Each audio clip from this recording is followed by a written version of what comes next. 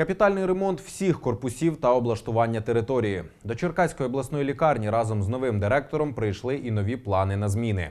Як розвиватимуть обласну лікарню і медичні заклади Черкащини загалом, про це в наступному сюжеті. Черкаську обласну лікарню відтепер очолює Віталій Шило. Про кадрові зміни колективу повідомляють урочисто в актовій залі. Щоправда, він не нове обличчя в цій лікарні. Новоспечений директор пліч-опліч із колективом уже 23 роки. За пріоритет вважає якість, доступність і безпечність медичного обслуговування. Для кожного колективу зміна е, керівника це стрес. Е, ну, я вважаю, що для нашої лікарні, для нашого колективу такого стресу не буде. Е, я працюю давно в цій лікарні, ви мене всі прекрасно знаєте, я вас прекрасно знаю. Я думаю, що ми будемо працювати на розбудову, на розвиток е, медицини Черкащини.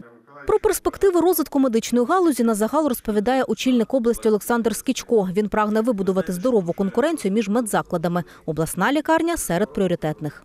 За програмою президента України е, Велике будівництво передбачена ре- капітальна реконструкція всіх корпусів обласної лікарні на 22-23 роки.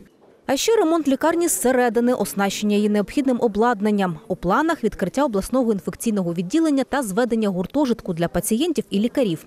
Кілька корпусів закладу тут уже реконструюють. Ви маєте війти в топ-5 закладів України, обласних лікарень. Оце буде результат.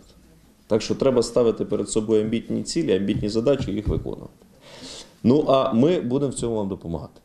Розповідають про свої напрацювання і лікарі закладу. Навіть привідкривають завісу власної роботи останніх місяців. Кажуть, в обласній лікарні вже проводять навіть трансплантації. Подробиці обіцяють розповісти згодом. Анастасія Кашит, Марія Гаврилян, Максим Ткаченко. Вікка новини.